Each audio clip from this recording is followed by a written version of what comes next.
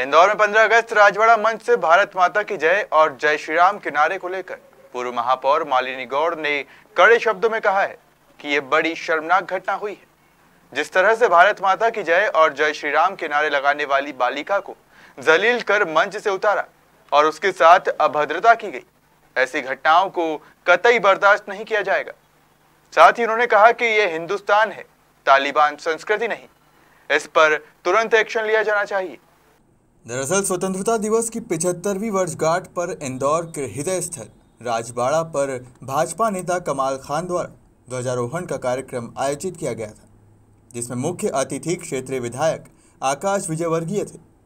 विधायक के कार्यक्रम में शामिल होने के पहले मंच सहित राजबाड़ा पर लोगों की भारी भीड़ जुट गई थी। इस दौरान मंच पर संबोधित करने पहुँची पिंकी यादव ने माइक से कहा कि शेरों की आवाज़ में ऐसी ललकार होनी चाहिए। कि हमारे आसपास जो आतंकवादी घूम रहे हैं, उनकी आवाज़ बंद हो जानी चाहिए।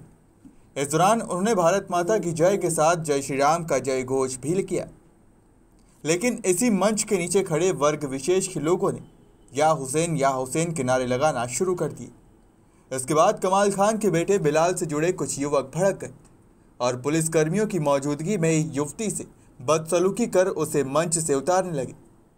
ये देख सराफा थाना प्रभारी सुनील शर्मा व अन्य पुलिसकर्मी तुरंत मंच तक पहुँचे और स्थिति को नियंत्रित करते हुए युवती को सकुशल मंच से ले गए। वहीं विधायक महापौर मालिनी गौड़ ने कड़े शब्दों में कहा कि ये बड़ी शर्मनाक घटना हुई है, जिस तरह से भारत माता की जय और जय श्री राम के नारे लगाने वाली बालिका के साथ अभद्रता की गई। ऐसी घटनाओं को कतई बर्दाश्त नहीं किया जाएगा। साथ ही उन्होंने कहा कि ये हिंदुस्तान है। तालिबान संस्कृति नहीं।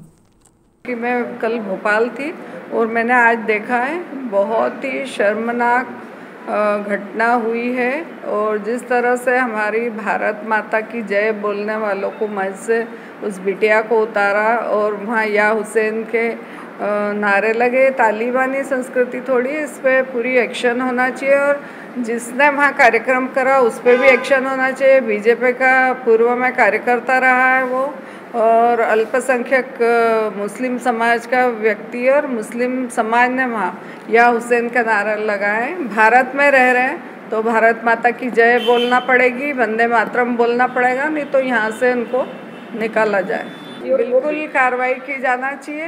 एक भारतीय व्यक्ति को भारत माता की जय बोलना पड़ेगा, वंदे मातरम बोलना बोलना पड़ेगा और इस तरह से हरकत कोई भी करे, कोई भी हो, ए से तक कोई भी हो, उस पर एक्शन होना चाहिए। वो पार्टी संगठन का मैटर है। उनसे चर्चा करूँगी मैं सभी लोगों से। खान के ऊपर क्या है? ऐसे लोगों को पार्टी से भी निकालना चाहिए और उस पर एक्शन भी होना चाहिए। बिल्कुल करेगी। भारतीय जनता पार्टी तो हमेशा बेटियों की सुरक्षा और रक्षा करने के लिए तत्पर है। माननीय मुख्यमंत्री जी बहुत संवेदनशील है और जिस तरह से ये घटना हुई है हम सभी जनप्रतिनिधि इसकी निंदा करते हैं।